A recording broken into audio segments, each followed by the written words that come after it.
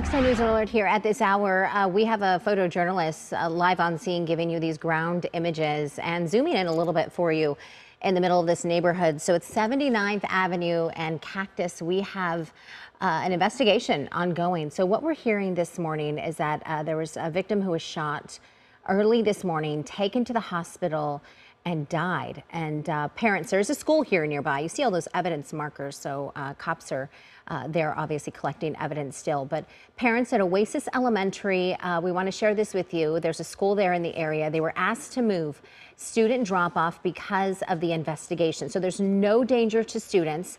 Again, this is Oasis Elementary School.